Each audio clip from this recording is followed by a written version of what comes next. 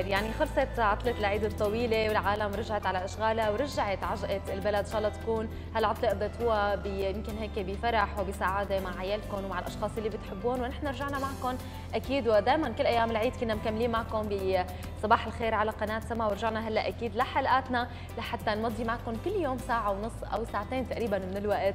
واليوم معكم ورد وأنا لحتى نمضي هالوقت سوا ونقدم لكم كل الفائدة. صباح الخير. صباح الخير يا رنا. كيفك بعد العيد؟ تمام. يسعد صباحك وإن شاء الله على طول أنت وكل المشاهدين تكونوا غير شكل. صح نحن خلصنا عطلة العيد ولكن خبريات العيد وفرح العيد وجوائز العيد لساتها مكملة معنا. ببداية حلقة اليوم بدنا نخبر كل المشاهدين المشتركين بمسابقة العيد الخاصه على قناة سما الفضائية بأنه السحب رح يكون اليوم الساعة 3 بعد الظهر بمقر المؤسسة العربية للإعلان على راتب 500 ألف ليرة سورية ولمدة سنة كاملة والجائزة الفورية يعني الجائزة اللي بدون سحب اللي هي كاش بقيمة نص مليون ليرة سورية أيضا للمشترك اللي باعت أكبر عدد من الرسائل خلال أيام العيد ولغاية آخر دقيقة قبل السحب يعني للتنتين وتسعة وخمسين دقيقة اليوم بعد الظهر. لذلك لسه الوقت معكم لتربحوا الراتب أو حتى الكاش مباشرة وبدون سحب. استفيدوا من الفرصة ابعتوا أكبر عدد ممكن من الرسائل قبل الساعة 3 وأكيد رح يتم الإعلان عن اسم الرابحين اليوم عبر شاشة سما الفضائية بالفترة المسائية. وبحلقة بكرة على صباح الخير نحن رح نتواصل مع الرابحين لنبارك لهم الفوز ونهنيهم بالراتب وبالكاش. وبحضور ممثل عن شركة لينك أب المنظمة لمسابقة الراتب ليخبرونا بكل شيء جديد بالأيام القادمة لأنه المفاجآت مثل ما ذكرنا مستمرة وما بتخلص. كثير أكيد توفيق للكل وإن شاء الله يكون هيك الرابحين. مثل ما قلنا حنخبركم كمان بكرة ونبارك لكم عبر برنامجنا. أكيد معنا الكثير من المواضيع ضمن حلقتنا لليوم اللي أكيد بتحمل فائدة ومتعة وشو هي أبرز عناوين حلقتنا. خلونا نشوف.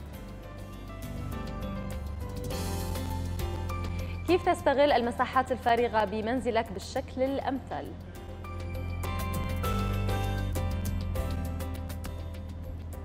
ومعاهد الأسد لتحفيظ القرآن الكريم نشاط دائم في مساجد سوريا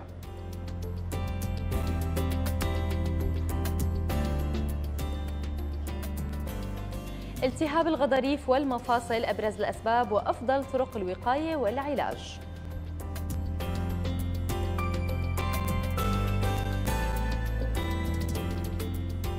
شو هي طرق وضع مكياج صيفي خفيف ونصائح بتخليه يدوم بالحرارة العالية.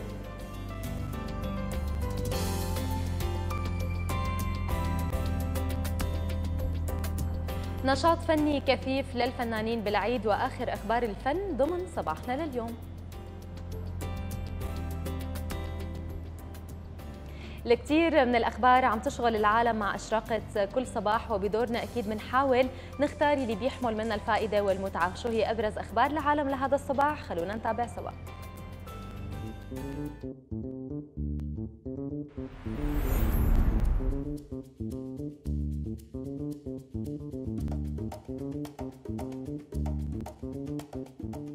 جولتنا المنوعة بلشت وبداية أخبارنا من مصر. قطع المصري حاتم إنديل أطول رحلة تجديف داخل نهر النيل من أسوان لدمياط كخطوة هي الأولى من نوعها. بطل التجديف المصري أنهى بوقت سابق رحلته يلي امتدت لمسافة نحو 1250 كيلومتر عبر قارب صغير.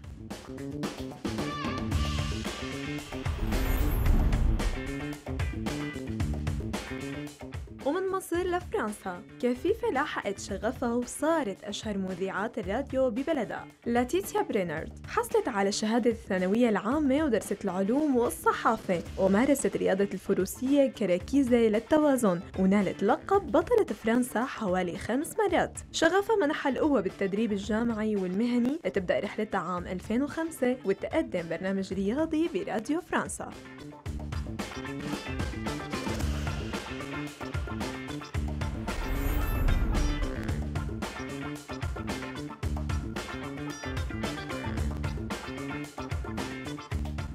وأخيرا جولتنا حتنتهي باليابان. أضاءت نحو 1800 طائرة مسيرة بدون طيار معا على شكل ثلاثي الأبعاد بحكي الكرة الأرضية فوق الإستاد الأولمبي بطوكيو. وشاهد العديد من سكان طوكيو حتى يلي ما تمكنوا من حضور الحدث. وسمحت الحكومة اليابانية فقط للصحفيين وبعض الضيوف بالدخول للمكان لكن المدارج كانت خالية من الجماهير بسبب جائحة كوفيد 19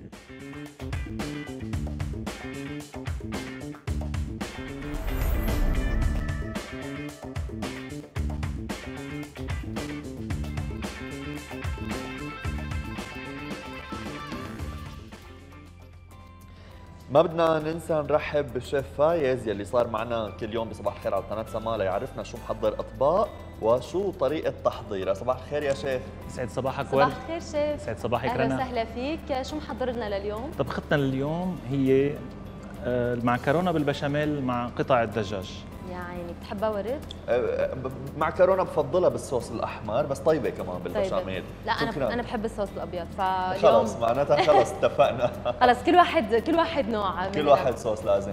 أهلا وسهلا. شكرا شيف بنشوف بعد شوي طريقة التحضير كاملة. في بعض العوامل مشاهدينا بتقلل من أعراض التهاب المفاصل مثل خفض نسبة الكوليسترول بالدم بالإضافة إلى الحفاظ على وزن صحي طول الحياة. طبعا هذا الشيء أكيد ممكن يصير باتباع نظام غذائي متوازن فشو هي الأطعمة اللي بتساعد مرضى التهاب المفاصل والأطعمة اللي بتزيد من التهابات؟ آه، هي المفاصل. تفاصيل أكثر بهالتقرير.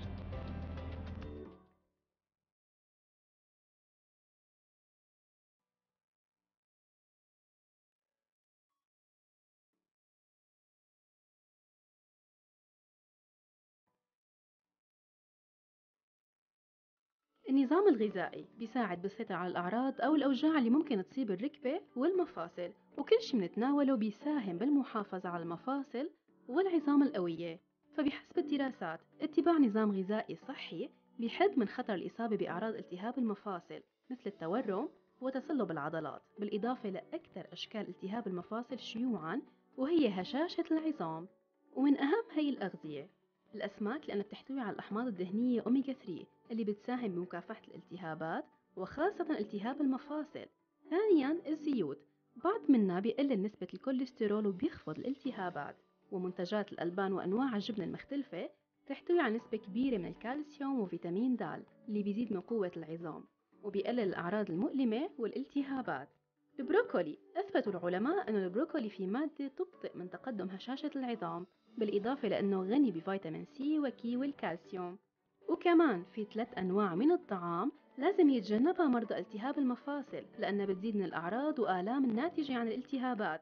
وهي السكر وخصوصا المعالجة لأنها بتزيد من إفراز مادة السيتوكينات المناعية اللي بتفرز بحالة الالتهابات. أما السكريات الموجودة بالمشروبات المحلاة فهي بتزيد من التهاب المفاصل. وأيضا الدهون المشبعة بتزيد من مستويات الكوليسترول بالدم ومن وزن الجسم فبالتالي تضغط بشكل ملحوظ على المفاصل اللي بتكون أساسا مصابة بالالتهاب. ثالثا وأخيرا الكربوهيدرات المكررة بتحفز الالتهابات الموجودة بالجسم عموما.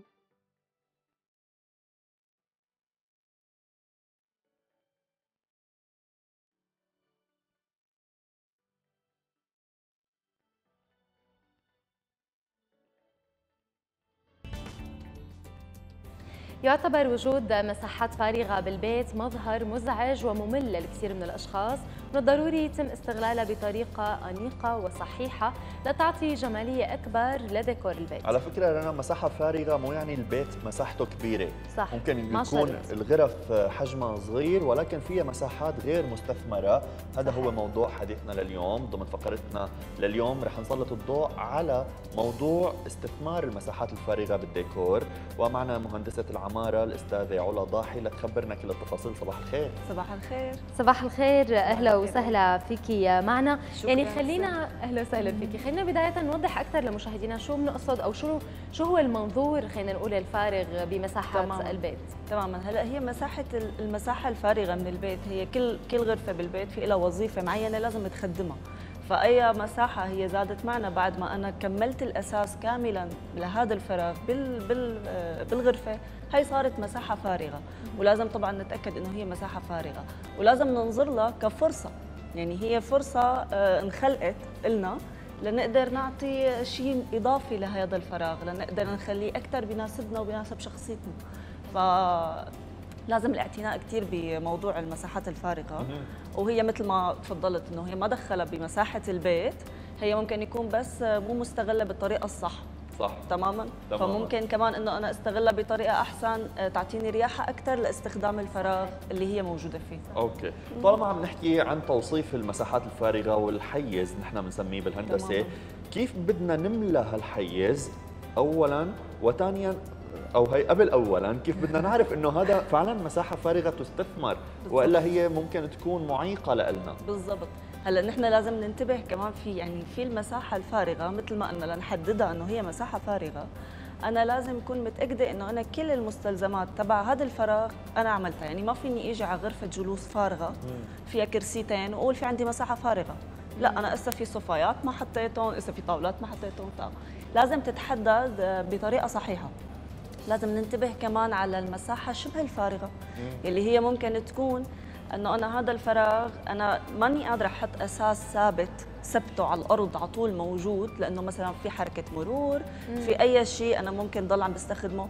بنفس الوقت هو فارغ ما عم يعطيني شيء هي أكثر شيء بنلاقيها بالموزع تبع البيت صح. بالمدخل تبع البيت يعني هي المساحات هي بتلبك يعني هيك الشخص بيطلع ما فيك تحطي بقلبها شيء إنه تماما يعني. يعيق الحركة أو يضل ثابت على طول ممكن يضوج لك حتى عينك يعني بين, بين الكنبايات أنا بحس إذا الكنبايات حجمهم ضخم تماما. ففي مساحة كرسي موجودة بنصهم صح. آه، بدي أحط كرسي فيها ما بمشي الحال لأنه أنا بدي أروح وأجي. صح. ما بدي أحط شيء بتضل مساحة بتضل هيك بتضل بعينك مو راكزة يعني. ف... إيه فكمان لازم نعرف هدول المساحتين مثل ما عم بتقول الفارغة وشبه فارغة. شبه فارغة. تمام. طيب خلينا معناتها نبدأ خلينا نقول أوضة أوضة.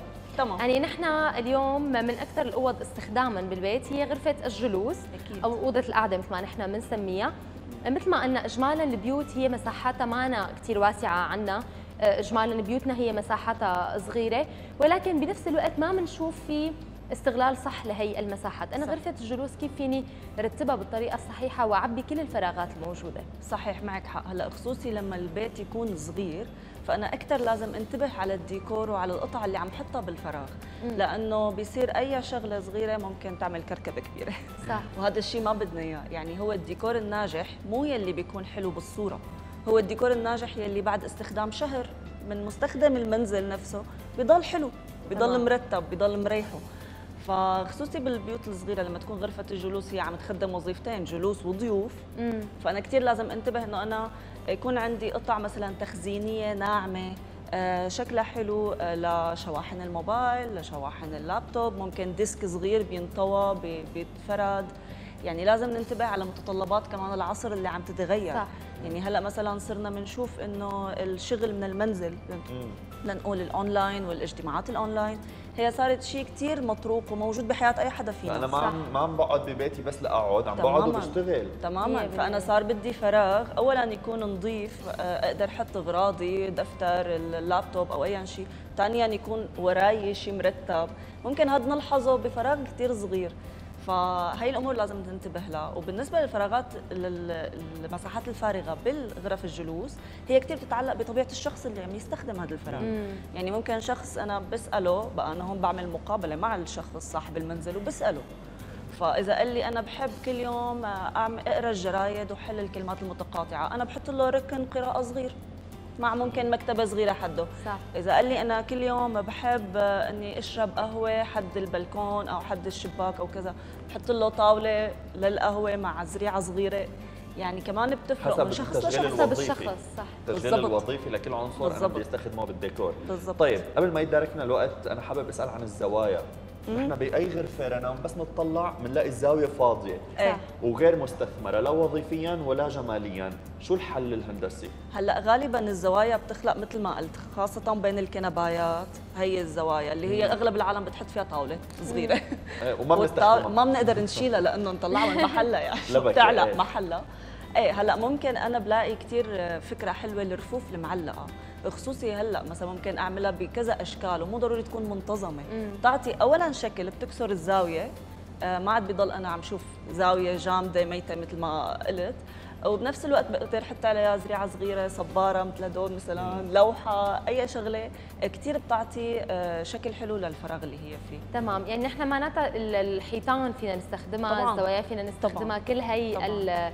الزوايا. نصيحة أخيرة لكل الاشخاص اللي عم يتابعونا اللي هن فعلا اليوم آه، حاسين بهذا الفراغ اللي موجود عندهم بالبيت كيف ممكن يعبوه؟ بالضبط. هلأ أهم نصيحة إنه هو الديكور ما ضروري يكون مكلف. لحتى آه، نستفاد منه ونتهنى فيه وننبسط فيه. آه كثير مهم كل شخص يحدد بالضبط هو شو متطلباته وشو الفراغ اللي عنده آه سامح له إنه يستخدم. مم. فهيك بيقدر يعرف شو بده يجيب قطع يعني ما بكفي يشوف شغلة عند حدا ويقول واو حلوة بدي أجيبها. لا ما هيك القصة. إنه أنا بدي أعرف إنه هي فعلا بتخدمني أنا بحاجة شيء ثاني أهم منها ممكن. فهي الأمور كثير مهم فكل شخص لازم يعرف شو هو بده. صحيح. تمام ما ضل غير نتشكرك لوجودك معنا. شكرا كثير لكم ولقاءات قادمة بمواضيع أخرى إن شاء الله بأسابيع مقبلة. أهلا وسهلا فيك شكرا شكرا كثير لك شرفتينا. شكرا. مشاهدينا تعد زيادة الإنتاجية أحد فوائد الرياضة الصباحية فأكيد الاستيقاظ باكرا وإتمام مهمة القيام بالرياضة الصباحية بيعطي شعور بالإنجاز والتحفيز. هذا الشعور بيستمر معنا لطول النهار لهيك دقائق من رياضة الصباح صارت جاسم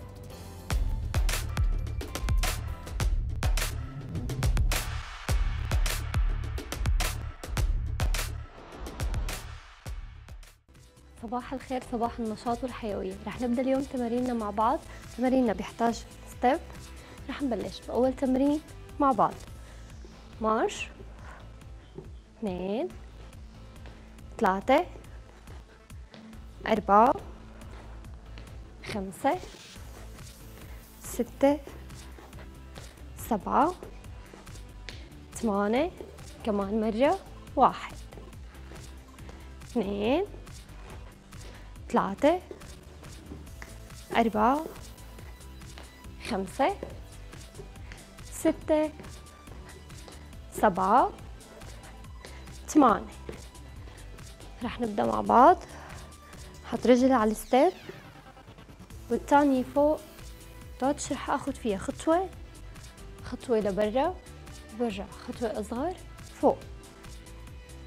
خطوة صغيرة. خطوة أكبر بنزل فيها سكوات تحت. برجع خطوة صغيرة فوق. اثنين. ثلاثة. أربعة. خمسة. ستة عم نشتغل على الرجلين. سبعة. ثمانية. آخر تنتين. آخر مرة. رجلي نفسها اللي طلعت فيها على الستيب حاخذها خطوة لورا. برجع بطلع قدام. اثنين. ثلاثة. أربعة خمسة ستة سبعة ثمانية مع ايدين سريع. واحد اثنين ثلاثة أربعة خمسة ستة سبعة ثمانية. آخر تنتين وآخر مرة. بريح باخذ نفس مشان بدل على الرجل الثانية كمان فوق؟ تاتش.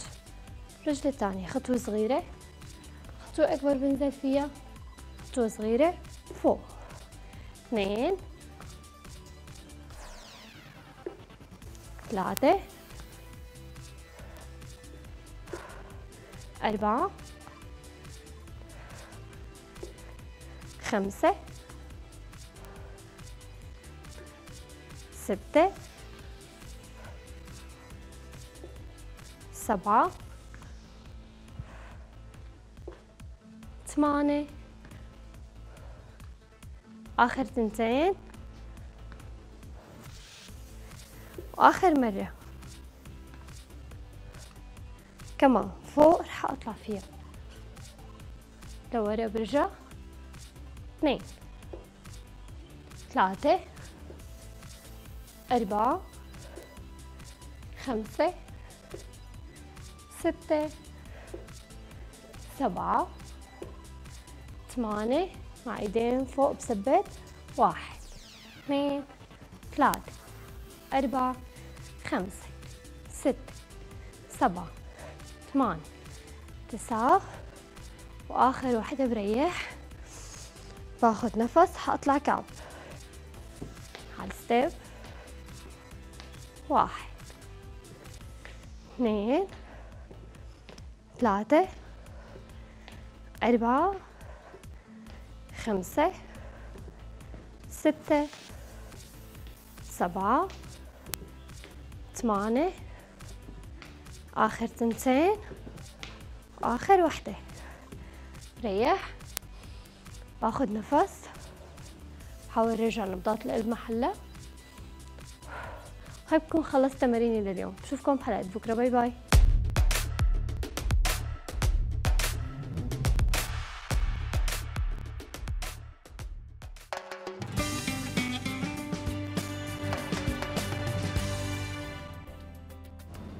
يسعد صباحكم. من جديد عنا المعكرونة بالبشاميل مع قطع الدجاج. عنا بالمكونات معكرونة مسلوقة مسبقا ومبردة ومصفاية عنا قطع الدجاج كمان شوحناها بشوية سمنة عنا الفطر عنا الزبدة والطحين عنا البهارات هي الفلفل الأبيض والأوريجانو وجوزة الطيب وعنا مكعب آه، مرق الدجاج وفي عنا كريمة الطبخ بالنهاية هي بتنزاد آخر شيء وأكيد المكون الأساسي بالمعكرونة البشاميل هو الجبنة الأشقوان أو الموزاريلا. رح نباشر فورا. حننزل الزبدة.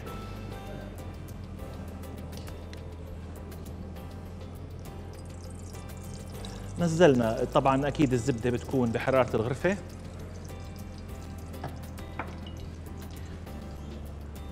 رح نباشر ننزل الطحين.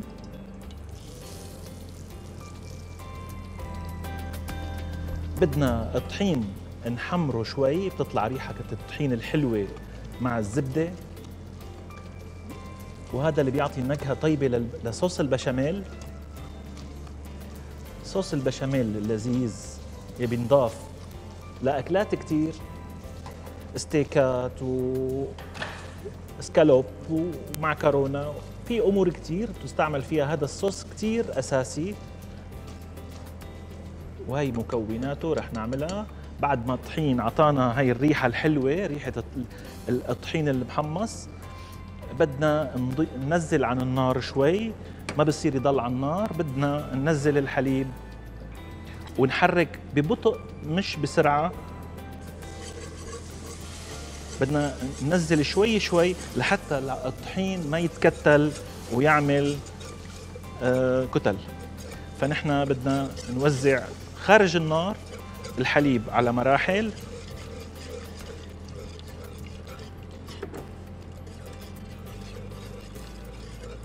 هلأ نحن عم عم ننزل الحليب فوق الطحين والزبدة لحتى نحصل على المزيج اللي بدنا إياه. رح نخلي شوية حليب مشان ندون فيه آه، مكعبات مرق الدجاج مرق الدجاج. رح نرجع المزيج تبعنا على النار ونحركه باستمرار لحتى ما يلزق أو ما يعمل كتل. هذا البشاميل بيضاف له البهارات التالية. هلأ رح نحط البهارات. نحن فلفل أبيض وكله حسب الرغبة. وفي عنا الاوريجانو كمان شوي وفي عنا هلا مكعبات مرق الدجاج بدنا ندوبهم بشوي حليب بارد.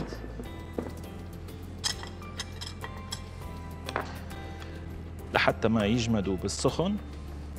نفس الوقت بدنا نكون عم نحرك.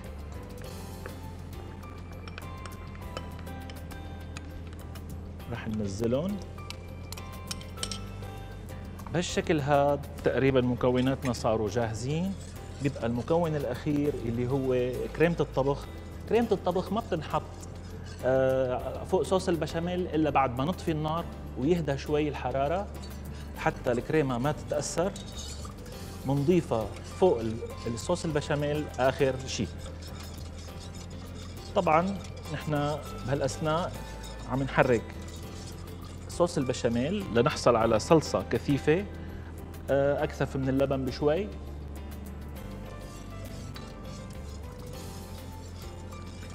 ون... ون... ونحن هلا لبينا ما لبينا ما نجهز آه، بقية طبقنا مكوناته. مشاهدينا وصلنا معكم لفقرتنا الطبية اللي بدنا نذكر ببدايتها بالرقم 9342 من داخل دمشق و011 9342 من المحافظات السورية الثانية لتتواصلوا مع الدكتور وتطرحوا أي تساؤل بخص موضوع فقرتنا. أو خارج موضوعنا. بفقرتنا الطبية لليوم رح نتناول حالة مرضية ممكن تصيب كتار بفترة من فترات حياتهم وممكن تمتد لحالة مزمنة إذا ما تم علاجها بشكل صحيح. طبعا نحن عم نحكي أكيد ورد عن التهاب الغضاريف والمفاصل المحيطة فيها. هو حيكون عنوان حديثنا الطبي لليوم مع الدكتور رائف ياسين الاختصاصي بالأمراض والجراحة العظمية. صباح الخير دكتور. صباح الخير اشتقنا لك. نحن اشتقنا لك أهلا وسهلا فيك شكرا لوجودك معنا دكتور أكيد. يسعد صباحك. دكتور عم نحكي عن التهاب المفاصل والتهاب الغضاريف ولكن طبيا وتشريحيا في فرق بين غضروف ومفصل أكيد طبعا. أول شيء لازم نحكي إنه جسم الإنسان بيتشكل من 360 مفصل. تصور لو ما كانوا موجودين هالمفاصل شلون بده تكون حركة الإنسان؟ موزعه على 147 مفصل على العمود الفقري 24 مفصل على الصدر 86 مفصل على الطرفين العلويين 88 مفصل على الطرفين السفليين و15 مفصل على الحوض. بقى تصور هدول هالمجموعة كلها هن لولاها ما فيك تتحرك. طبعا في أنواع من المفاصل آه، ثابته أو شبه ثابته آه، بطيئة الحركة والمفصل المركب أو اللي له حركات كبيرة. طبعا بدنا نميز كثير بين المفصل والغضروف. كيف دكتور؟ آه المفصل آه هو التقاء سطحين مفصليين مع عظمتين مختلفتين. يعني مثل السلامية مع السلامية تمام. السلامية مع المشط المشط مع عظام الرسغ عظام الرسغ مع الساعد هدول مفصل. المفصل بيكون له سطح غضروفي آه له محفظة تعطي سائل معين مشان تخلي دائما في لزوجة بحركة المفصل مشان ما يصير تآكل بالسطوح المفصلية. بينما الغضاريف الغضاريف بنشوفها أكثر شيء بالمفاصل الركبة. حضرتك رياضي وبتعرف في عندنا غضروف انسي وغضروف وحشي في عندنا أربطة جانبية عندنا رباطين متصالبين هدول كلهم بشكل مفصل الركبة. ومفصل الركبة من المفاصل المعقده كثير ووظيفته تماما تماما نحن بنشبهه مثل اماتوسور السيارة. بخفف الصدمات بين القسم العلوي من الجسم والقسم السفلي من الجسم. هاي وظيفة الغضروف وبتحمي المفصل من الكسور السريعة. تمام. طيب معناتها نحن خلينا نوضح دكتور شو هي أكثر الأذيات أو شو هي أشهر الأذيات يمكن هي تصيب هي الغضاريف؟ طالما هي خلينا نقول تتحمل الصدمات أو تتحمل أكثر شيء هيك الحركة الزائدة عليها. طبعا هلأ أكثر الأذيات بنشوفها عند الرياضيين. وهي أذية اسمها أذية تمزق الغضروف. إن كان الأنسي أو الوحشي بقرنه الأمامي أو خلفي أو بجسم الغضروف طبعا آه، بتأدي نتيجة حركة غلط نتيجة ردة مباشرة. بتلاقي أنت بتشوفي بالمباريات فجأة أكل رد اللاعب قعد على الأرض حط ركبته بحطوه على النقالة بيبخوا له بنج لأنه مؤلمة جدا وخاصة إذا انعقلت الركبة. يعني تفتل بيقولوا الركبة إيه، دكتور؟ بيتمزق الغضروف بينزلق بتعمل انعقار ركبة ما بتقدر تفرد ولا تتني. هذا واحدة من الأعراض اللي بنشوفها دائما بأعراض تمزق الغضروف. طبعا هدول موجودين بالرياضيين. بكبار السن أو بالعقد الخامس والسادس من العمر بيصير في عندنا تنكس بالغضروف. يعني من آه، تآكل السطوح المفصلية مع العمر مع هشاشة العظم مع البدانة مع آلية الحركة مع نوعية العمل ببلش يتاكل الغضروف يبلش تخف مساحته بيصير معنا تنكس بالغضروف. آه تنكس الغضروف طبعا له علاج والتمزق له علاج. هلا بنحكي بالعلاج بنحكي بالعلاج كلها.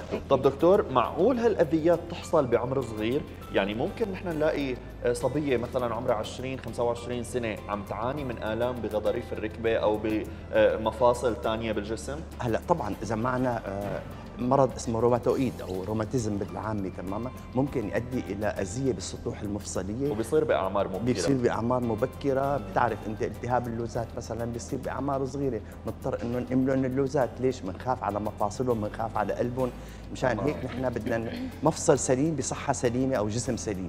طبعا أكثر الإصابات شيوعا بين أكثر الأعمار هو التهاب محفظة الكتف. أها. تمام. عندكم عندكم الرياضيين صح على طول بنشوفوا آه إصابات آه، بالنوادي. الردود المتكررة على الكتف تثبيت الكتف بصير في عندنا آه مشكلة بمحفظه الكتف بصير في عندنا تنازل القوس المؤلمة بنسميه بيمتد الوجع من قاعدة الرقبة للكتف لنص العضد.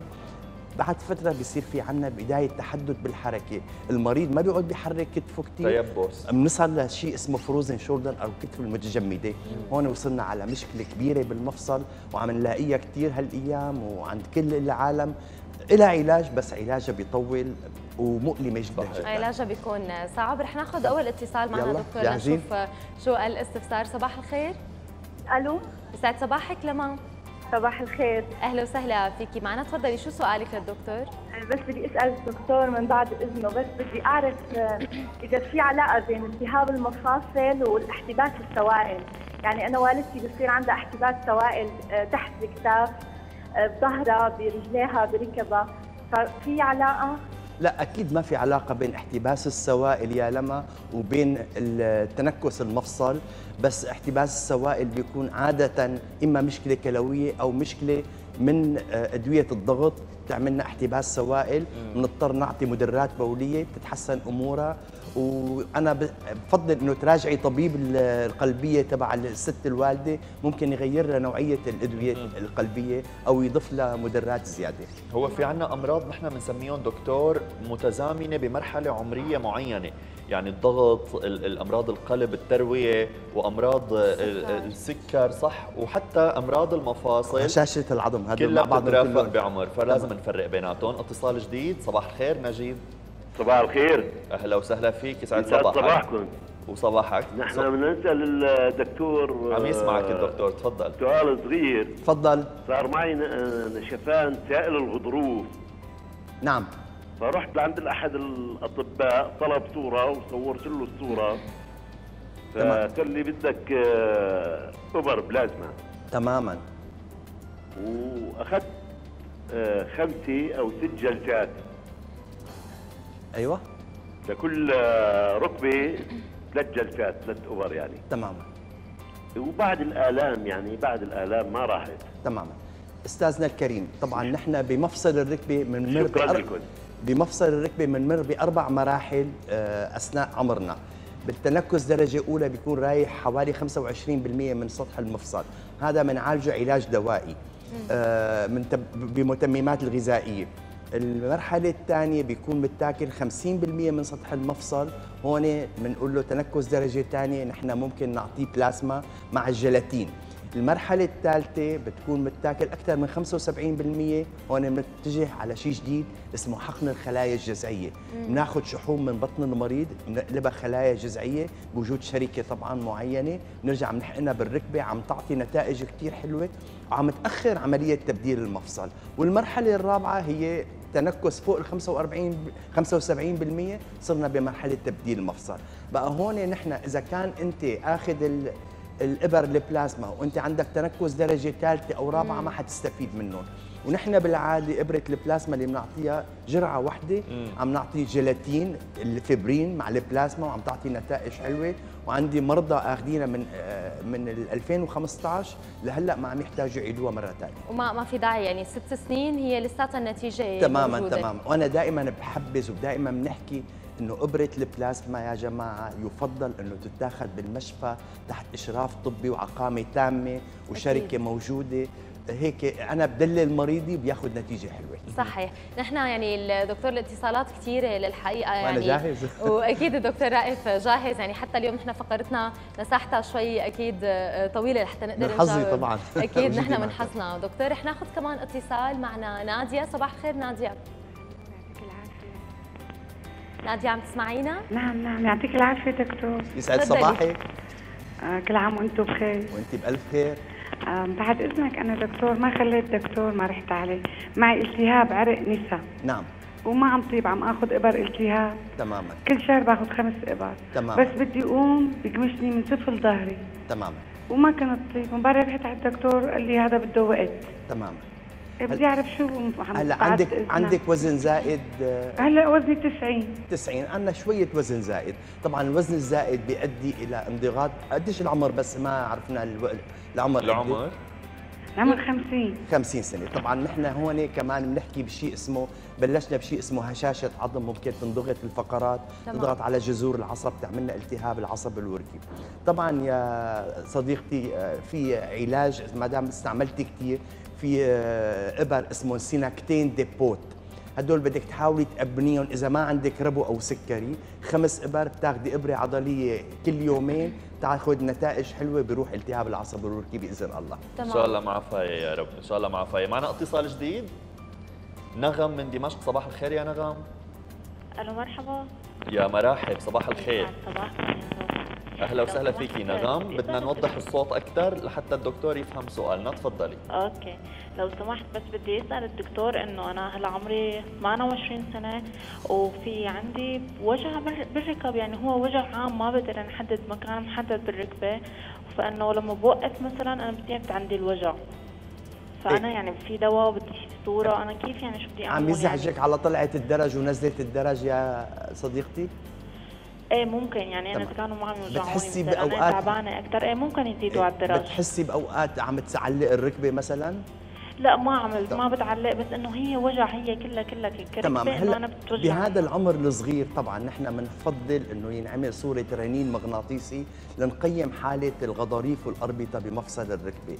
هلأ مبدئيا فيك تاخذي أي متمم غذائي مثل الريبون مثل الجلوكوزامين مثل الأرترال. ناخذ حبة مرتين بالنهار. لمدة شهر. إذا لقيتي حالك تحسنتي okay. ما تحسنا نتجه لإجراء صورة رنين مغناطيسي. لحتى نشوف شو الحالة. حناخذ كمان اتصال. يلا. معنا فرح. صباح الخير. مرحبا. أهلا وسهلا فيكي فرح. تفضلي شو سؤالك؟ آه سؤالي آه، بدي أسأل أنا أختي عمرها يعني بحدود ال 30 آه بس بيصير معها وجع بآخر الظهر بسفله يعني. تمام. آه يعني أحيانا بيصير الوجع بيصير هيك مثل لمعان تمام. هلا هذا نحن بنعده نوع من انواع التهاب العصب الوركي بس يفترض انه ب 30 سنة يا فرح انه ما يكون في عندها وجع. آه، أنا بنصحها تعمل شوية رياضة شوية سباحة تقوي عضلات ظهرها مع حبة سيتامول أو باراسيتامول أو آه، سيتامول آه، يونادول joint لفترة مؤقتة لتقوي عضلات ظهرها وترجعي طبيعية بإذن الله. إن شاء الله يا رب لأنه مثل ما ذكرت دكتور يعني قلة الحركة أحيانا بتعمل كثير تنكس بالمفاصل أو حتى التهابات. نحن بغنى عنها بعمر مبكر اتصال. عفوا إيه، عفوا دكتور لا بتطلع بتطلع أنت مثلا إذا في عندنا كسر مثلا وبنحط جبسين لأي منطقة مم. بعد ما نفك الجبسين بتلاقي في يبوسة بالمفصل تماما. صح. هذا هو اللي عم نحكي عليه إنه القعدة الطويلة عدم الحركة عدم ممارسة الرياضة كله بيؤدي إلى بيأهب إلى تنكس سريع لمفصل للمفاصل. 100% اتصال جديد. نوال من اللاذقية صباح الخير. صباح الخير. يسعد صباحك. تفضلي سؤالك. آه دكتور بس بس أنا صبية هلا بعمري بال 32 نعم. شخصوا لي بعد جفاف بالشعر وكذا وهيك قصص شوجرن شو شخصوا لك؟ آه شوجرن هذا مرض شوجرن الجفاف. نعم. okay. إيه. آه فهلا كثير عم بعاني من المشاكل بالمفاصل يعني. وجع وجع كثير مؤلم. ف شو باخذ هيك؟ يعني أنا حاولت هلأ باللاذقيه إيه. آه كثير دكاترة. هلأ ما لقوا لي حل غير الكورتيزون. هلأ هو فعلا هذا المرض للأسف إنه بناخذ لفترة زمنية طويلة الكورتيزون على مراحل طبعا وفي ممكن ناخذ الميتاتروكسات معه آه، لفترة زمنية طويلة وبدك متابعة عن طبيب عظمية آه، أو طبيب مفاصل. تمام. معفاية يا إن شاء الله عليك ألف عافية. أكيد معفايين كل كل مشاهدينا. عندي سؤال دكتور من يمكن من الاتصالات اللي إجتنا. عم نشوف هي الأمراض مثل ما قلنا بأعمار صغيرة نوعا ما كنا عم نقول قبل إنه آه، بالعقد الخامس أو السادس يعني بالخمسينات والستينات ممكن تبلش هي الأعراض هي الأمراض التهابات الغضاريف وغيرها. شو السبب إنه نحن عم نشوف هي الأمراض دكتور؟ صرنا عم نشوفها شوي بأعمار صغيرة. هلأ ممكن الغذاء ممكن عدم ممارسة الرياضة. ممكن عدم يعني آه، متابعة الحالة عند الطبيب المختص. في كثير شغلات عم نروح المريض ما عم يعرف وين عم يروح عم يروح لعند طبيب غير اختصاص مم. عم يعالجه. مشان هيك ببلاد برا بتعرفي في شيء اسمه الفاميلي دكتورز. ما بيروح بيبعد عند تماما ما بيروح صح. المريض لعند الأخصائي غير. بعد ما بيفحصوا ال family doctors وبيعمل له file كامل وبيوجهه باتجاه الطبيب الأخصائي المناسب. تمام. هيك ما عم يضيع المريض. صح. إحنا أوقات بيضيع المريض من عيادة لعيادة. شفتي هلأ من بعد الاتصالات إنه ما خلي الطبيب ما راح يتزافر. بقى يعني في عندنا هون شيء كمان اختصاص طب العائلة عندنا كمان كان ظريف كثير قبل الأزمة وكان لأ إن شاء الله بيوسعوا المجال تبعه بيعطي نتائج كثير حلوة. تمام إن شاء الله يا رب. وفعلا بيحتار يا رنا الواحد بدي يروح عصبية ولا بدي يروح هضميه ولا بدي يروح عظمية. لأنه ف... اختصاصين ف... قريبين من بعض. دائما في تنافر بين العصبية والعظمية. تنافر صداقة طبعا يعني, يعني. عداوة كار واحد. محبة محبة. كثير أمراض مثلا بخربط المريض مثلا بيقول لك أنا ركبتي بدي أروح عند طبيب عصبي. صح. مع العلم هي اختصاص جراحة عظميه تمام. يعني صحيح. من حلب اتصالنا هالمرة من إلين. مرحبا يا إلين. ألو صباح الخير. صباح النور يسعد صباحك. سؤالك تفضلي العافية دكتور. يسعد صباحك. أنا أنا عندي ابني عمره 16 سنة. نعم. آه كان بعمر السنتين عنده روماتيزم. نعم. كثير شديد. بل عمر سنتين بس سنتين تقريبا عم ياخذ ابر كل 15 يوم. تماما. وهلأ رجع له وجع الركب. عم بوجعه ركبه استأصلتوا له أي إجراء. استأصلتي له اللوزات؟ لا ما بي ما بيوجعوا لوزه يعني بالعادة إنه ما عنده مشاكل باللوز. تمام تمام. طبعا الإبر اللي كان عم ياخذها هي إبر بنسلين بتتاخذ كل ثلاث أسابيع إبرة. طبعا هلأ إذا عملتي له تحاليل الروماتيزم ولقيتيها مرتفعة طبعا بدنا نرجع نعالجه إما بالهياسيلين أو بدواء اسمه الكتروميد أو الأرافا. بتاخذ فترة زمنية طويلة. لحد ما ترجع التحاليل مضبوطة بيرجع بتخف هجمة المفاصل تاعته تمام. طيب آه، دكتور يعني مثل ما قلنا عم نشوف كثير هي الأمراض وهي الالتهابات وقلنا ممكن تمرق بكثير حياة أشخاص بفترة من الفترات وتروح أو ممكن تكون مزمنة. بشكل عام كيف بيكون العلاج؟ في علاج نهائي لهي الالتهابات أو لا؟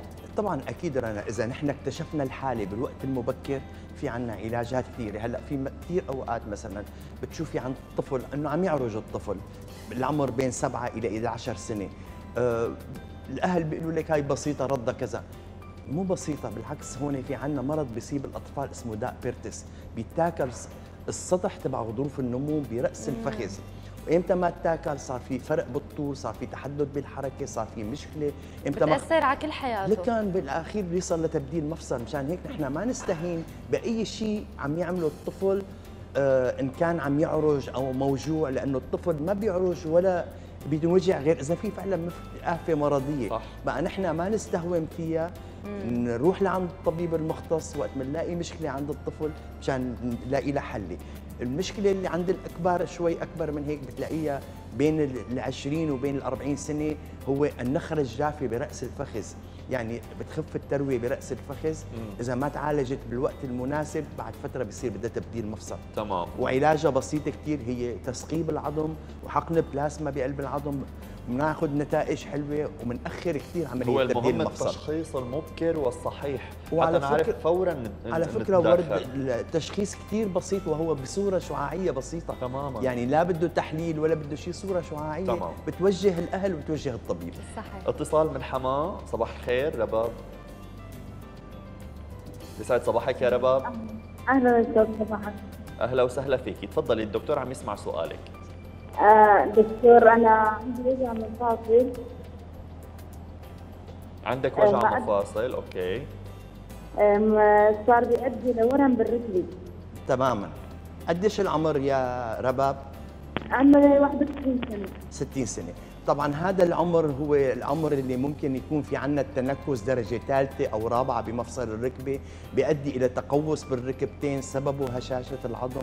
سببه العمر سببه البدانه بنصحك تعملي صورة بسيطة للركبتين بوضعية الوقوف وتبعتي لنا إياها على الواتساب لنشوف لك إياها تكرم عيونك ونعطيك العلاج المناسب وإن شاء الله بيروح الوجع. إن شاء الله مع فايه يعني كانت رباب آخر اتصال معنا الحقيقة دكتور اتصالات كثار بس وقتنا أكيد ما بيسمح لناخذ أكثر من هيك. نشكرك على كل المعلومات القيمة اللي قدمت لنا إياها. وان شاء الله يكونوا كمان مشاهدينا استفادوا منها. إن شاء الله يا رنا. شكرا كثير لك دكتور. ومثل ما ذكرنا التشخيص المبكر هو سبيل وضع صحيح. اليد على الحل. وعادة ما بعرف إذا تأيدنا دكتور بيكون في ناس خايفين يشخصوا بيقولوا لك إنه أنا ما بدي بدل مفصل الركبة. بروح صح. عند الدكتور لشخص بس الدكتور بيقول لي إنه آه، فورا عمل جراحي. مزبوط إنه كل آه، تشخيص يأتي من بعده عمل جراحي؟ إذا ما وصلنا للتنكس الدرجة الرابعة ما بنوصل لتبديل مفصل آه، الركبة. وحتى تبديل المفصل الركبة بدنا نطمن السادة المشاهدين إنه مفصل الركبة من المفاصل اللي كثير بتبيض الوجه مع الطبيب ومع المريض بتعطي نتائج حلوة. تصور بامريكا مثلا آه، كل سنة في 600 ألف عملية تبديل مفصل ركبة. 600 ألف على عدد سكانهم معناه عدد هائل يعني. ما ما حدا بيستحمل الوجع. طيب. نحن بنستحمل الوجع من خوفنا من العمل الجراحي صح 100% طيب دكتور أعطينا شيء وقائي. يعني أنا ما بدي اوصل لمرحلة يصير عمري مثلا 50 أو 60 سنة عاني من الام بالمفاصل. شو الحل؟ أهم شيء الرياضه غذاء مناسب ونحافظ على الوزن. تمام. وبعدين بعد سن معين يعني بعد ال 40 50 سنة قعدة الأرض هي غلط عم تأذي المفصل عم تستهلكه بسرعة. يعني كل شيء ممكن يأذي المفصل نبعد عنه. يعني هي هي أهم شيء حياة صحية كلها صح. مشان هيك أهم شيء نحن بنقول الوزن والرياضة. تمام هي هي أهم شيء. ونحن دائما دكتور بنحرص بصباحنا أكيد دائما عندنا فقرة رياضة يمكن لنشجع شوي العالم عم تشجعني على هذا الموضوع وحتى الغذاء. يعني أكيد مو كل الأكل هو صحي ولكن بنحاول نشجع العالم على إنه يطبخوا بالبيت يعملوا هي الأكلات إيه، بالبيت. بتضل أحسن أكيد من أكل برا. أنا بتمنى من السيدات طبعا لأنه عندنا مشكلة نحن فيكم بهشاشة العظم بعد السن معين. إنه بعد الحمل والولادة ترجع لوزنها الطبيعي. مم. أهم شيء ترجع لوزنها الطبيعي وتحاول ما يزيد وزنها أكثر من بين 8 ل 10 أو 11 12 خلال كل خلال, خلال فترة الحمل. وبعد الولادة مباشرة تحاول ترجع لوزنها الطبيعي تمارس الرياضة ترجع امورها طبيعيه هذا كله أكيد بياثر نشكرك كثير دكتور لوجودك معنا. أهلا وسهلا. شكرا كثير لك دكتور. وطالما قالت رنا إنه نحن بنحاول بصباح الخير نعمل الطبخات الصحية قدر الإمكان رح نرجع لعند الشيف فايز. ونشوف الشيف فايز وين وصل بطبق اليوم. وين وصلت يا شيف؟ يعطيكم ألف عافية. الحقيقة إنه نحن بلشنا بتطبيق خلصنا صوص البشاميل وجهزنا. هلأ حاليا عم نطبق شكرا دكتور. عم نطبق المكونات كلياتها. كل المكونات نحن عم نطبقها. هلأ حطينا طبقة أول شيء دهنا البايركس بشويه زيت وحطينا طبقة من البشاميل وبعد منها طبقة من المعكرونة الجاهزة المسلوقة ومصفاية. هلأ حاليا بدنا نحط قطع الدجاج والفطر. رح نطلع قطع الدجاج والفطر و... ونرجع نحط طبقة من البشاميل. هلأ عم نطبقها كلياتها. عندنا الفطر.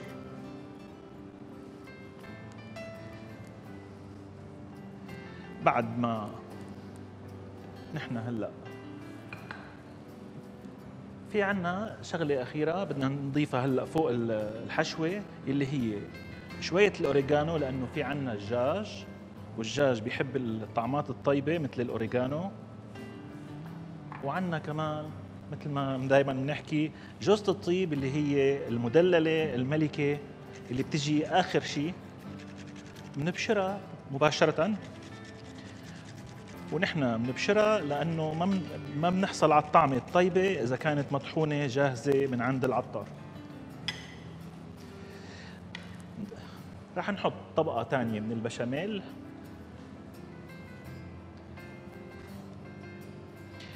و ونرجع نحط كمان طبقة ثانية من المعكرونة. وبن بعد ما نحط المعكرونة بدنا نحط الجبنة. هلأ نحن عم نحط طبقة ثانية عندنا الجبنة الموزاريلا وفينا نستعمل الأشقوان. لست البيت إذا حبت تستعمل الأشقوان. وبدنا ندخلها بعد منها على الفرن. وهلأ لبينا ما نجهز طبقنا ونصير جاهزين لنعرضه عليكم رح نرجع لعند ورد ورنا يعطيكم ألف عافية.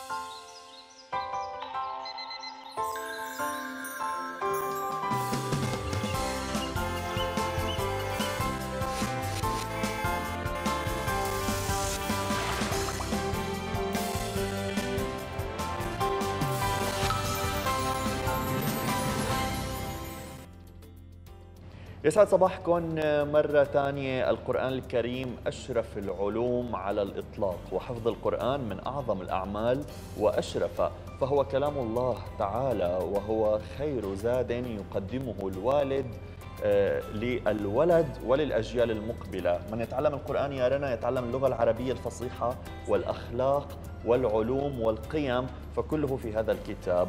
وفي سوريا وبمساجدها تحديدا لا تتوقف حلقات تعليم وتحفيظ القرآن للأطفال. تفاصيل أكثر بالتقرير التالي اللي ببين قديش هذا العلم متوارث وقديش قيمة القرآن الكريم كبيرة في مساجد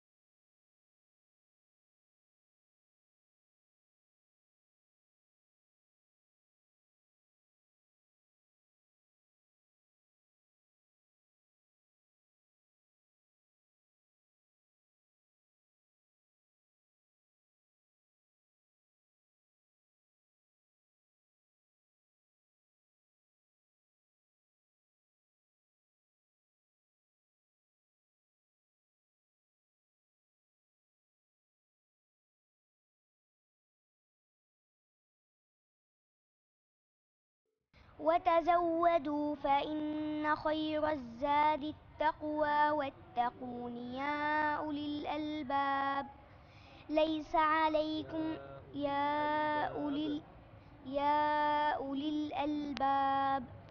ليس عليكم جناح أن تبتغوا فضلا من ربكم فإذا أفضتم من عرفات فاذكروا الله عند المشعر الحرام. فخص النبي عليه الصلاة والسلام بالخيرية من تعلم القرآن وأيضا من علم القرآن.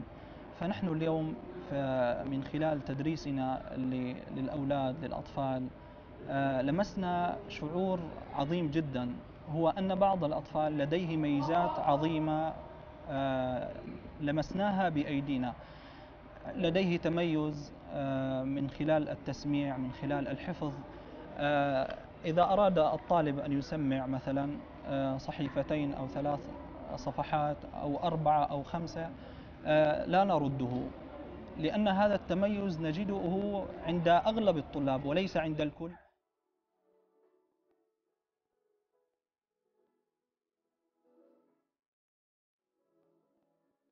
هالطلاب يلي أغلبهم ما تجاوزوا مرحلة الطفولة. فضلوا يقضوا عطلة الصيف بتعلم القرآن الكريم وإتقان تلاوته وحفظه فالعلم في الصغر كالنقش على الحجر. فكيف إذا كان هالعلم هو كتاب الله تعالى.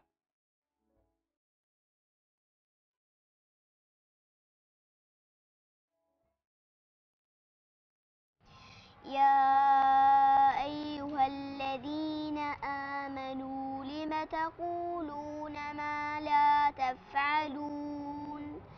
كبر مقتا عند الله أن تقولوا ما لا تفعلون. فلما فصل طالوت بالجنود قال إن الله مبتليكم بنهر فمن شرب منه فليس مني.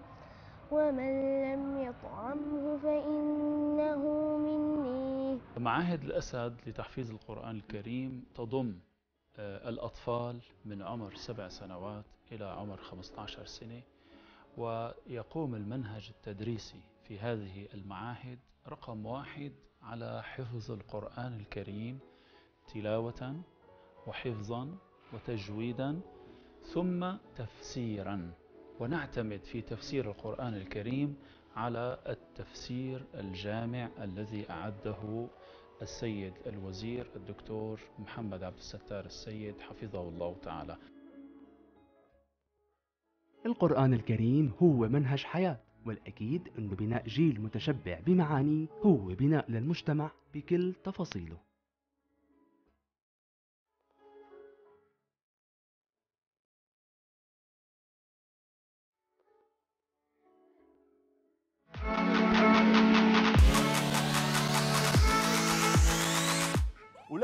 بيلبق لكم الفرح رح نقدم لكم بعيد الأضحى بدل الجائزة جائزتين. جائزة العيد الكبرى راتب شهري بقيمة 500 ألف ليرة سورية ولمدة سنة كاملة. ومو بس هيك في جائزة فورية وبدون سحب كاش بقيمة نص مليون ليرة سورية لصاحب أكبر عدد من الرسائل المرسلة خلال فترة العيد. شو ناطر؟ شغل موبايلك وابعات رسالة فيها كلمة عيد للرقم 1998 من أي خط سريتل أو إم تي ام وخلي فرحتك فرحتين.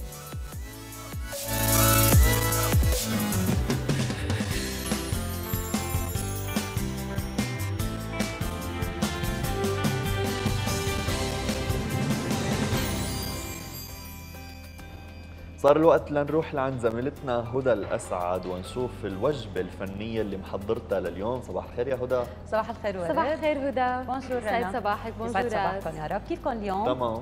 شو الأخبار؟ ناطرينك. تمام. ناطرين الأخبار. الأخبار. بصراحة يعني أنا أول ما فتت على الكواليس ورد هيك من وراء الكاميرات عم بيقول لي. شو الجديد؟ اليوم أخباري هي جديد ولكن مو عن الأعمال الفنية. okay. أنا كثير حبيت اليوم معكم ومع المشاهدين نشوف أجواء الحفلات يلي كانت بعيد الأضحى. okay. للصراحة رجعت الحفلات كتير جميلة. آه، العالم بدها تنبسط العالم بدها تفرح العالم العالم. بدها تعيد العالم مشتاقة لهالجمعات. فكيف الفنانين يلي مستنين هذا اللقاء مع جمهورهم؟ فحسيت إنه خبر لازم نعرضه على المشاهدين ولازم هيك ورجيكم أجواء شوي من الحفلات. ما قدرنا نروح نحضر كان صعب. فقلت فجبنا الحفلات لعنا. فجبنا الحفلات لعنا. وحبلش بأكثر حفلة كانت عاملة صدى كتير كبير وتحديدا بالسعودية يلي هي حفلة سلطان الطرب يلي غنى لأول مرة بجدة بالسعودية. هذا الحفل طبعا كتير تنظم وكتير عملوا له هيك مثل دعايات كتير كبيرة قبل ما يروح جورج وسوف لأنه هي أول مرة خلال كل مسيرته الفنية أول مرة بيروح بيقابل هذا الجمهور يلي حتى هو خلال الحفل قال بحرف واحد قال أنا بعرف قديش بتسمعوني وبعرف قديش بتحبوني وهي أول مرة بشوفكم لايف فأنا آه، يعني حتى كثير حاولت ادور لكم على غنية كاملة من هذا الحفل ما بتتخيلوا كم الجمهور يلي كان عم بغني مع جورج وسوف يلي كان صوته أعلى. وكان يعني شو بدي لكم تعبير عن الفرح كان بحالة واحدة بهذا الجمهور تحديدا. هو آه، الهتافات وال- والت- والتسبيق بشكل قوي جدا. فشوفوا كيف كانت الدخلة. يلا نحضر سوا.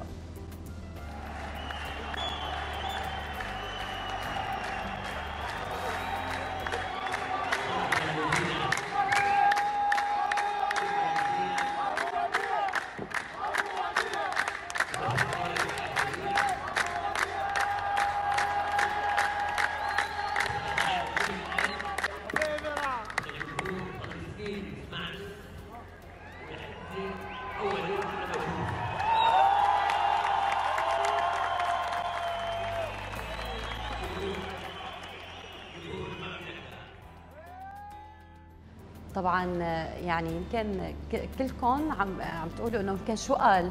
مم. يلي قالوا نفس اللي قلت لكم اياه بالبداية. أنا عرفانة شو الأسئلة اللي بتصير. شو ممكن نسأله؟ شو ممكن؟ شو حكى؟ يلي قالوا بالضبط إنه هي أول مرة بشوفكم وأنا كثير سعيد إني موجود ضمن هذا الجمهور يلي بيحبني وبيتابعني وبيعرفني كثير منيح. وللأسف هي أول مرة بشوفه بعد كل هالعمر. الله يعطيه طولة العمر آمين يا رب. ويقويه آمين. واساسا ناطرين شيء جديد أكيد بعد ياها على الزمن يلي حققت ملايين المشاهدات على يوتيوب. ويبدو في شيء بين جوزيف عطية وجورج وسوف لأنه من يومين ثلاثة أو قبل العيد انتشرت صور كثير قوية يبدو في عمل. بصراحة جوزيف ما صرح ولكن بتحس إنه في شيء فناطرين لنشوف إذا في عمل جديد. لنشوف شو الجديد. لنشوف شو الجديد أكيد. خبري التالي هو عن وائل كفوري. يعني أنا ورنا وورد كنا عم نحكي من قبل شوي آه يعني عن جد الحب بيغير كثير بتغير وائل بحفلاته. بالحفلات ورد شخص جديد. الشخص تماما مختلف. آه أغاني جديدة أغاني صيفية حفلات يعني مثل ما بنقول بالعامية خابطه خبط. يعني هيك بالحرف الواحد. جايبت لكم حفله بدبي. هذا الحفل كان معه أكيد الفنان ملحم زين وكان معه محمد خيري. هذا الحفل آه يعتبر من أهم أكيد الحفلات لأنه هدول الأسماء الثلاثة بالوسط الفني كثير مهمة. ولكن ليش بدي احكي لكم عن وائل كفوري تحديدا؟ وائل كفوري خلال هذا الحفل يلي جايبت لكم أنا كمان مقتطفات منه غنى البنت القوية أو سكر عم ربى أنا ما عاد قلت على الاسم السوري هذا. على الاسم السوري. غنى البنت القوية ثلاث مرات. وما بتتخيلوا السعادة اللي هو كان فيها والفرح. وهذا الحفل خليني أقول يلي كسر القواعد شوي عند مبادئ وائل كفوري. غنى نص ساعة زيادة عن العقد المكتوب. فتخيلي انت لوين بتكون قديش هو معناتها مبسوط ومروق يعني إنه هو كثير رواق. وصارت قصة أساسا بينه وبين ملحم زين قبل هذا الحفل. أنا ما نشوف أجواء وائل كفوري ونشوف كيف غنى مقتطفات شي لوديع الصافي شي لأم كلثوم وشي أكيد من أغاني القديمة والجديدة. فأنا جمعت لكم موال هيك قصير لوديع الصافي وغنية لوائل. جيد؟ يلا. يلا. نشوف سوا.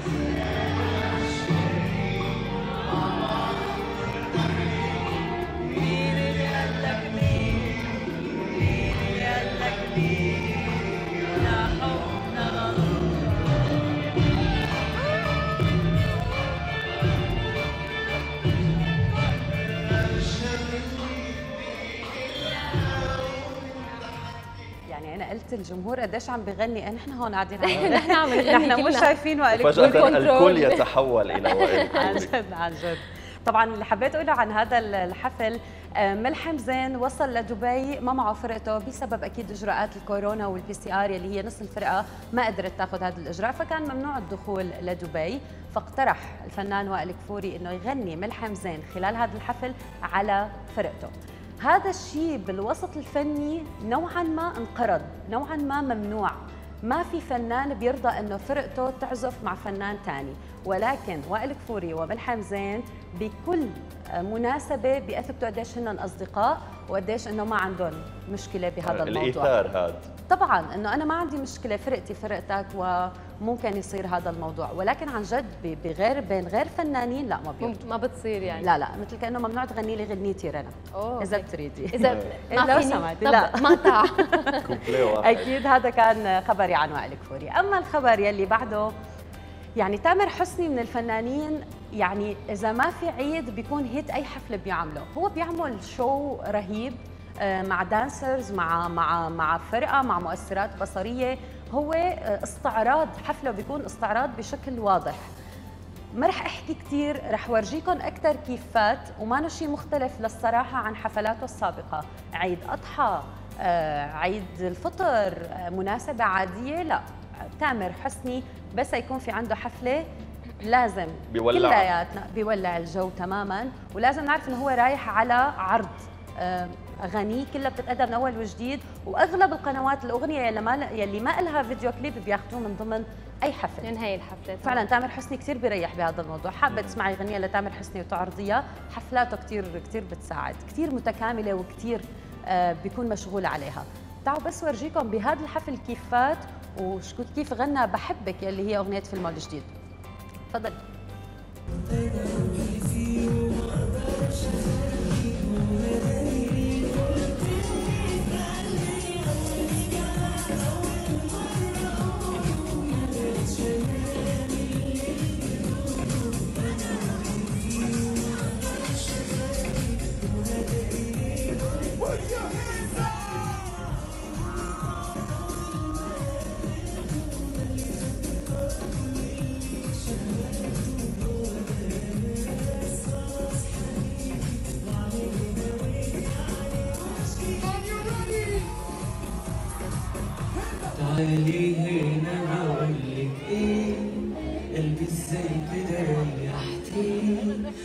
بحس معاكي حنان. طمنتيني على عمري يهديتي على طول. صبري كفاية اسمي صوت الحنان. وفيكي سيبيني شوية أحب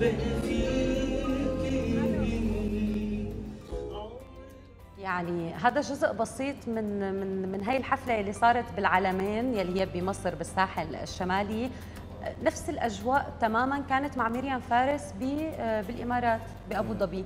تامر حسني ومريم فارس كمان كانوا بالعيد سوا. فتخيلوا اثنيناتهم استعراضيين اثنيناتهم عندهم هذا الاهتمام بأنهم يطلعوا مختلفين أو يطلعوا شوي ما بيشبهوا سبكتاكولر كثير تماما تماما ورد يعني بالنسبة لميريام فارس. ميريام فارس بصراحة بين كل هالحفلات يلي ذكرتها تصدرت خليني أقول المحركات البحث على ال social media. يعني يلي عنده بيناتنا صفحة ما بيهتم بولا خبر فني طلع أكيد شاف ميريام فارس بحفلة بأبو ظبي. تخيل لهي الدرجة انتشرت الفيديوهات يلي نشرتها هي ويلي نشروها المتابعين. ميريام صار لما راحت على أبو على أبو ظبي تقريبا سنة ونص. فكان هذه السعادة بوجودها واضحة عليها. واضحة على الجمهور. فخلونا نسمع شوي شو غنت ميريام. كمان أنا جايبت لكم مقتطفات وبرجع حتى لكم آخر حفلة معي لليوم. تفضل. أنا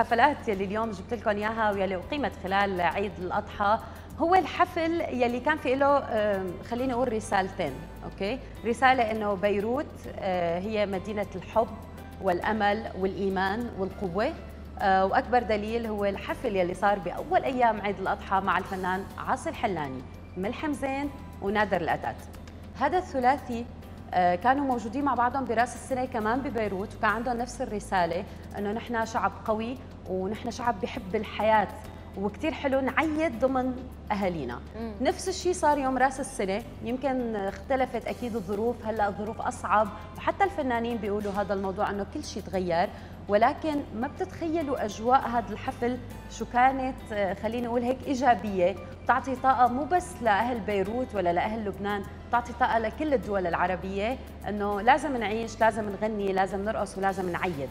أوكي؟ فخلينا نشوف كيف كانت أجواء هذا الحفل. مسيناكم بخير.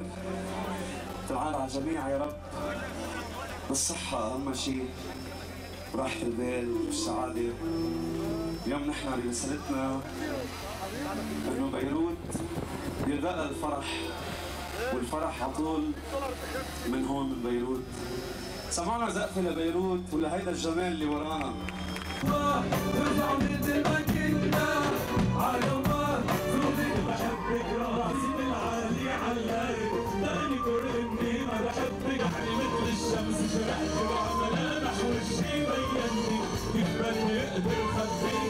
الله بينعاد عليكم بالصحة والسلامة ويسعد أوقاتكم. بدي أرحب بكل الموجودين معنا اليوم بهالحفل. يعني هيك حاولت عن جد انقل لكم جزء من أجواء الحفلات والفنانين كيف ممكن يتفاعلوا. مع الجمهور بعد هذا الغياب الطويل. وهيك وخلصت. كثير حلوة هي الجولة يعطيك ألف عافية يا هدى وناصرينك الأسبوع القادم. إن شاء الله. شكرا كثير لك هدى. مشاهدينا بهذا الوقت من السنة ومع ارتفاع درجات الحرارة بتبحث النساء عن مكياج صيفي خفيف ما يمكن بينتزع بسرعة بفعل الحرارة والتعرق. فشو هي أبرز الخطوات والطرق لتحصلي على هذا المكياج؟ رح نعرف سوا بهالتقرير.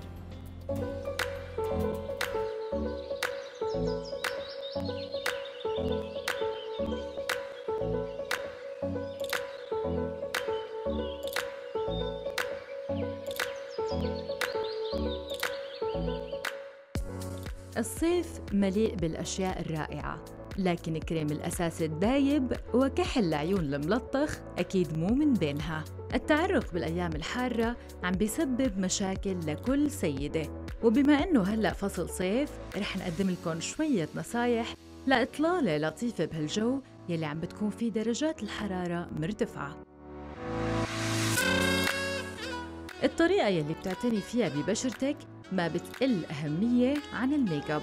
لهيك استخدمي مرطب خالي من الزيوت بفترات الصبح.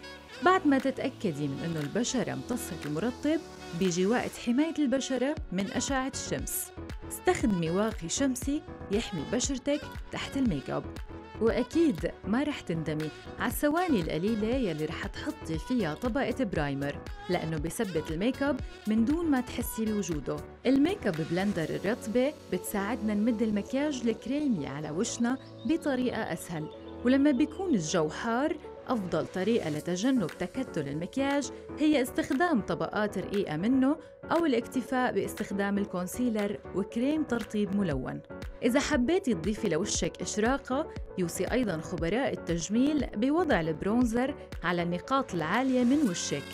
يعني كأنه الشمس عم تضرب وشك بشكل طبيعي.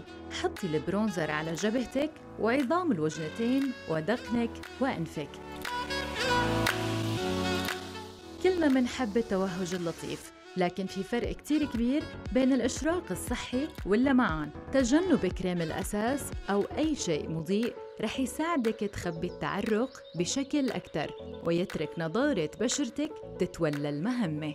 الألوان الغنية والعميقة إلها مكانها لكنها تقيلة بفصل الصيف بالأخص لل look الصباحي. اختاري الألوان الشفافة وال nude colors وتجنبي تستخدمي كريم فوق العيون. طبقي ال eye shadow يكون أساسه powder مباشرة على الجلد. لحتى يدوم لفترة أطول ولا تنسي كمان إنه حمرة الخدود بتضيف التوازن لأي مظهر. وتأكدي إنه المنتجات يلي عم تستخدميها يكون أساسها مسحوق بودرة خالية من الزيوت. ودايما خلي بجزدانك علبة powder وفرشاية. حتى تصححي التعرق والأخطاء يلي بتصير بسببه. أيضا كل أنواع ال make up ال waterproof مناسبة جدا للرطوبة والصيف. لكن استخدميها بحذر لأنه إزالتها تتطلب مواد خاصة وقوية. اللمسة الأخيرة. لا تنسي تستخدمي سبراي تثبيت ال make up.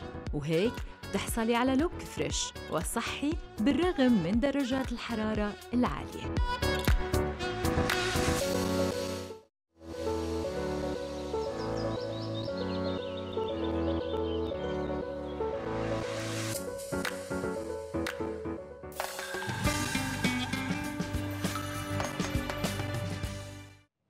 كيف عم تكون أبراجنا لليوم؟ مدام نجلة قباني صارت موجودة لتخبرنا. صباح الخير. صباح الخير. صباح الخير. صباح الخير يا رنا. صباح الخير لكل المشاهدين.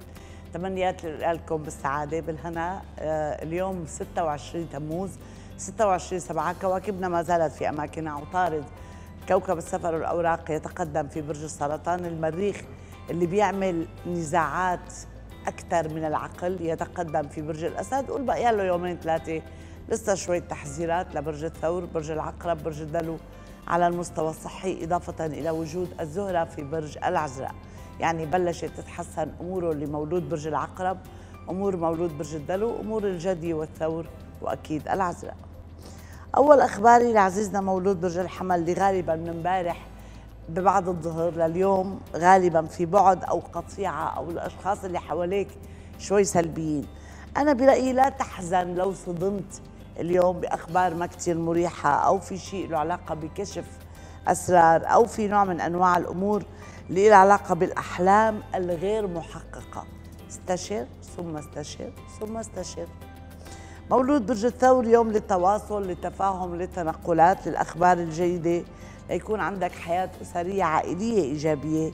لا تفوت فرصة لدعوة أو مناسبة. اليوم مبسوط مولود برج الثور مع الناس اللي حواليه. حواليه مرح وتسلية. كسرنا تعبا بين امبارح واليوم ومولود الجوزاء. ليس في حالاته الأفضل غالبا في قرارات عفوية غير مدروسة في حدا معصب. حاول تكون متحفظ بكلامك حتى مع الناس اللي ما كتير بيعني لك أمرهم. كأنه في ملل أو إحباط أو نوع من أنواع الندم. يا ريتني هي القصة ما عملتها يا ريتني ما حكيتها. يعني حاول تكون أكثر انتباها مولود الجوزاء. حد الأيام الأفضل لعزيزنا مولود برج السرطان. وغالبا هاي الأيام قصصك العملية قصصك الشخصية ممكن تكون إيجابية. في تقدير من الناس لك أنت مبتسم ترفض التعب مولود برج السرطان وربما تسعد لخبر مفرح. على كل أصلا مواليد برج السرطان هالشهرين ثلاثة عندهم حلول. مولود برج الأسد. اليوم الأمور أفضل بكثير من الكم يوم اللي راحوا. على الأقل في محبة أو في مصالحات أو في راحة نفسية أو يمكن مساعدة من العائلة والزملاء. يعني وجهات نظرك اليوم قادر تشرحها بهدوء. أنا برأيي هالثلاث أربع الجايين ثلاث أربع أيام الأفضل لمولود برج الأسد لأفكار إيجابية أو لترتب أمورك بشوية مساعدات أو لتشعر إنه في مدح دعم تشجيع. لست في حالاتك الأفضل عزيزنا مولود برج العذراء مو مرتاح. في شيء له علاقة بهفوات صغيرة أو بعض التأجيل أو بعض التأخير أو قصة ما كثير مريحة بالنسبة لك كأنك تعاني ظلم أو بعض الإساءة أو حاول تكون لطيف في التعامل أو بالحوار. يعني أنا برأيي حاول تغفر أخطاء المحيط من حولك لأنه هي الأيام أيام فيها نوع من أنواع القلق وكأنك فاقد للطاقة. ما بعرف إذا في قصة من الأمراض الموسمية يعني وارد. هذا القريب الخفيف مثلا أو في حدا حابب يتخانق معك اليوم ما بعرف. حابب ورد تتخانق معي؟ مساعدات قليلة لمولود برج الميزان على فكرة ورد هيك عم يعمل لي. حاول ما تتخانق معي اطلاقا لاقي لك شي حدا آخر تتخانق أنت وياه. اليوم يوم جيد لمولود الميزان رغم إنه شغله كثير عمله كثير وارد إنه يكون في نوع من أنواع الاستهلاك الجهد في أشياء لا تلزم. يعني ما بعرف إذا حمية غذائية ريجيم أو قصة صحية أو بعض المسكنات. لا تخلي اليوم الشغل يتعبك. يعني ما تقضي كل وقتك بالشغل. إذا قدرت ترتاح لك شي ساعة ساعتين ظهر بتكون كثير منيح. ورتب أولوياتك. وإذا حسيت إنك شوي متعب مولود برج الميزان لا يمنع تاخذ لك حبة مسكن. ما عندك شيء سيء صحيا. أمورك إيجابية جدا. مولود برج العقرب سواء عمليا سواء شخصيا. زهرة دخلت إلى برج العذراء عم بيخلي بينك وبين الآخرين لقاءات أو نقاش لأمور مستقبلية أو نوع من أنواع الإطراء أو المدح لإنجازاتك. هاي الأيام عم تحط خطط كأنه للمستقبل وعم ترتب شؤونك والحظوظ مساعدة. الآن مولود برج القوس أو مو مبسوط خليني أقول. هلأ غالبا الناس اللي حواليك مضايقينك ومن الواجب أنك تتحملهم. اليوم يوم فيه هيك قصة تخص الآخرين شاغلته لمولود برج القوس أو ممكن ينفتح الباب على مواقف خاطئة. حاول توزن كلماتك. يعني هاليومين مشغول ضايق خلقك معصب. في عندك نوع من أنواع الهفوات الصغيرة اللي ما كتير عم تغفرها. ممكن من الغير بس ما كثير عم بتمرقها. هلأ نحن لما بنكون عصبيين أصلا أو حساسين ففعليا ما كثير بنمرق الأمور الصغيرة. الجدي حركة نشاط والحياة الأمور مبشرة بالجديد بالمتين وخاصة إنك عم تأسس لشيء جديد. في سلة تفاهمات بإيده اليوم مع أشقاء مع أهل مع أصدقاء مع زملاء والحظوظ مساعدة للجدي لتقارب أو لتفاهم أو لحركة أو لتعارف. أو الاتصالات. عزيزنا مولود برج الدلو غالبا عم تطرق مصاريف إضافية. يعني حاول تنتبه للضروريات والأولويات. أنت حدا أصلا كريم وما بيعرف يمسك قرش. لذلك هي الأيام أيام لازم تحاول تستخلص العبر من تجارب فاشلة خطها على الصعيد المالي. هلأ في بعض المضايقات خاصة بالشهر الماضي انت أصلا طالع من شهر كان الأكثر تعبا. على الصعيد المالي. لذلك يعني بس انتبه ماليا لأنه أصلا الشهر القادم أفضل بكثير. ماليا عاطفيا. حوت قد يسعد بخبر اليوم أو عم بيصب تفكيره بعلاقات شخصية. أحد الأيام الجيدة اللي ممكن تفكر فيها بقضايا مهمة. الأسبوع القادم كله عندك قصة عاطفية عائلية. ربما عم تحاول تحلها ربما بعض الأخطاء عم تحاول تصلحها. يعني عم توضع النقاط على الحروف والحقيقة حظوظك إيجابية وجيدة. خليني عايد مولود اليوم اللي هو مولود 26 وأتمنى له السعادة. مولود 26 شخص مبادر لبق لطيف من الأشخاص اللي ذكي حازق بيعرف يرتب أموره بيعرف يلاقي حل لكل مشكلة. آه، ما بيقع بورطات كبيرة لأنه يفكر قبل التصرف. مشكلته إنه صاحب خطوة ناقصة. دائما يعني بيترك شغلة هو مبلشها ليروح على شيء ثاني حسه إنه هواء أكثر لذلك يعني ما ما كثير بيستقر عموما إلا إذا قصة يعني صار لها فترة وبيحبها. طبعا من الأشخاص اللي بيغيروا رأيهم بسبب الآخرين يعني الآخرين لهم تأثير عليه. متفائل صاحب ابتسامة جذابة. من الأشخاص الديناميكيين صاحب حيوية. لافته جريء بقول كلمته بصوت عالي قوي ويحلم بالسلطة. السنة هو ناجح خاصة هالشهرين ثلاثة. حيوي فعال عم بيروح الوقت بتفاصيل إيجابية. الأمور العاطفية تعتبر الأفضل بالنسبة لك والأحسن خاصة كحظوظ مساعدة. مايا سنت حظك يا مايا لكن ليس شهر أب. الشهر التاسع وما بعد اللي هو ايلول أنا بيخطر لي عم أقول لك سنة حظك لأنه هي بالنتيجه سنة كثير مهمة كتغييرات وحتختميها أفضل مما بدأت فيها. عبير عم تسألني عبير يعني بلشت الأمور تتحسن. ما أنا كبسة زر ما انت طالعة من الشهر الأكثر تعبا بس بلشت الأمور تتحسن ورايحة باتجاه الأفضل. عبير سنة قادمة جيدة وحتختميها. إذا أراد رب العالمين بأفضل مما بدأت فيها. يا رب كلنا نختم السنة هي بأفضل مما بدأناها.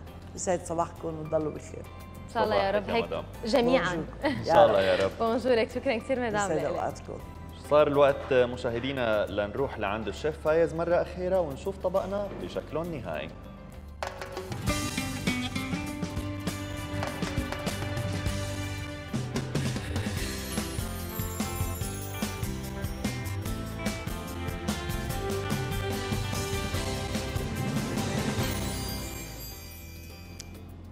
رجعت لكم مشاهدينا الكرام رح نقدم لكم طبقنا اليوم بالشكل النهائي.